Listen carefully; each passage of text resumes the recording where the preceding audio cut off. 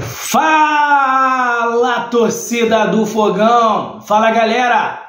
Boa tarde para todo mundo, sejam bem-vindos ao canal do Anderson Mota. Vamos falar bastante do Botafogo e de futebol e regatas. Sim, vamos falar do Botafogo. Esse vídeo não é um vídeo de informações de campo e bola, beleza? De contratação, do técnico Bruno Lage, é o que esperar dos próximos jogos, de Botafogo líder do campeonato, não.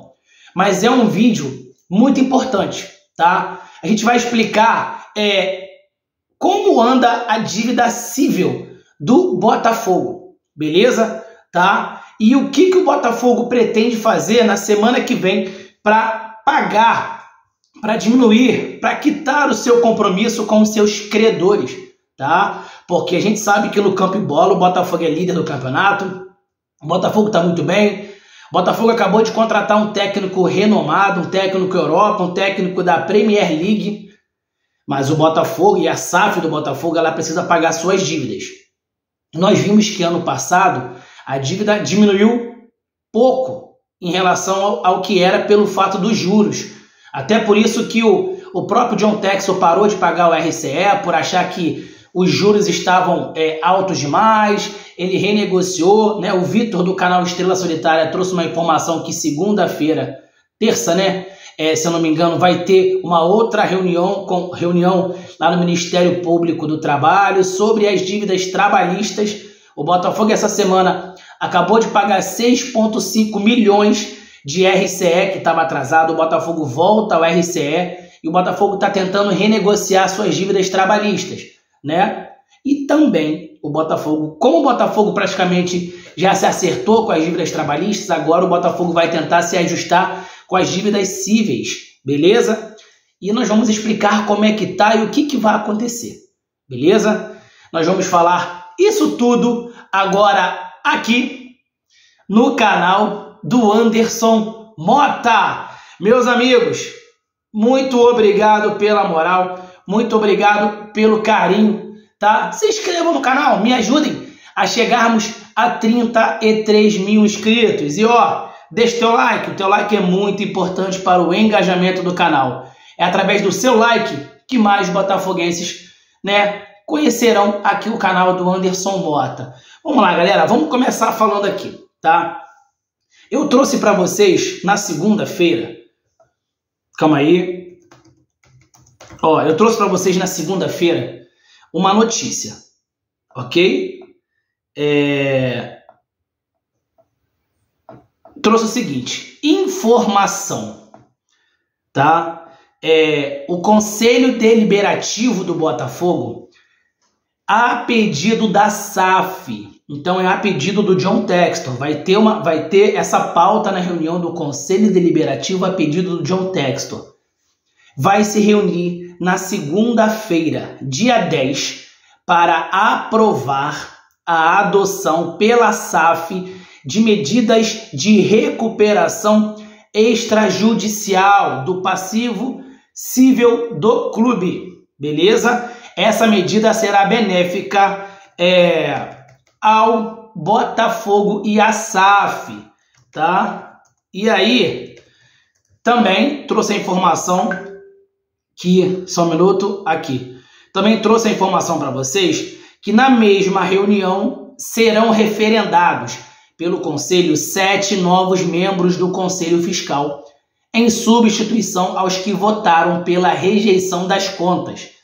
E como o Conselho de, é, é Deliberativo não aprovou o parecer deles, renunciaram aos seus cargos. Também, na pauta do Conselho Diretor, deverá autorizar o deverá autorizar e celebrar o contrato de locação da loja na sede de General Severiano. Então teremos três pautas importantes na reunião, mas a pauta que mais significativa nesse momento para mim é que o Botafogo na segunda-feira vai votar se na no, no passivo civil se iremos para a recuperação extrajudicial. Anderson, o que seria isso?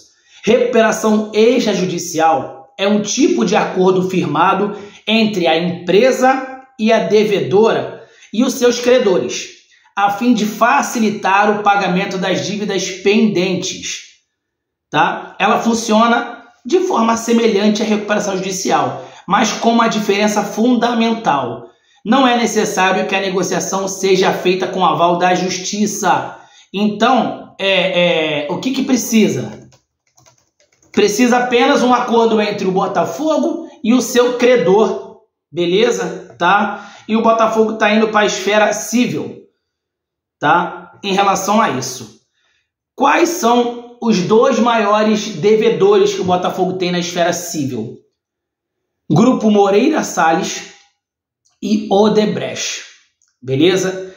E o grupo Moreira Salles e Odebrecht, eles representam 51% da dívida civil do Botafogo.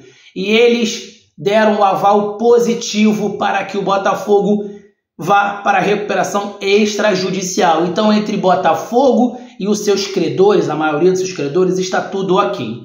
Anderson, mas o Botafogo vai ter vantagem em relação a isso? A gente vai explicar agora. Caso o Botafogo né, seja aprovado no dia 10, o Botafogo entra na recuperação extrajudicial das dívidas do passivo civil. Só vantagens. A dívida civil, que hoje é de 400 milhões de reais, irá para 250 milhões. Olha aí. Uma redução de quase 40%, que já foi negociado com a maioria dos credores. Beleza? A taxa Selic, que está em torno de 14%, teríamos uma redução de no máximo 2% ao ano. Beleza? O prazo da dívida a ser paga, né, os 400 milhões, eram em 10 anos. Conseguimos, com as negociações com os credores, um prazo de 14 anos, 4 anos a mais, e olha agora. Com dois anos de carência, o Botafogo não precisa pagar nada nesses próximos dois anos. Dá para o Botafogo arrumar sua casa, beleza? E outra, na, na recuperação extrajudicial, existe uma garantia que os credores irão receber isso com a tutela judicial. E o Botafogo tem também uma garantia que não terá nada penhorado. Perfeito? Tá? E outra, gente, do jeito que está hoje, a dívida está sendo paga, porém com juros. Então não está sendo paga nada. Vai chegar, o, bota, o, o John Textor ele vai botar mais de um bilhão de, de pagamento de dívida, mas quando você vê, ele não pagou quase nada. Então ele não vai ter a responsabilidade de pagar as dívidas do Botafogo. Tá entendendo? Porque a SAF precisa da associação para isso acontecer. Primeiro que algumas coisas aqui não estão no contrato da SAF, tá? Então tem que ter um bom entendimento entre associação e SAF, ok? E outra, a dívida é da associação. Então interessa para a associação melhorar a forma de pagamento da SAF, tá? Então, galera, isso a partir de segunda-feira será votado. Eu acho que eu esclareci um pouco. Eu não, eu não tenho muito conhecimento em relação a isso, tá? Mas eu acho que deu para esclarecer que aparentemente parece que a recuperação extrajudicial para a esfera civil é a melhor opção, tá? Então, galera, explicado aí o que, que vai acontecer a partir de segunda-feira, na reunião do Conselho Deliberativo. Beleza? Meus amigos, compartilhe esse vídeo. Esse vídeo é importante para que todos os botafoguenses saibam o que está acontecendo no clube, tá? importante para o futuro da SAF. Grande abraço, saudações alvinegras e ó, fui! Aquele abraço, galera!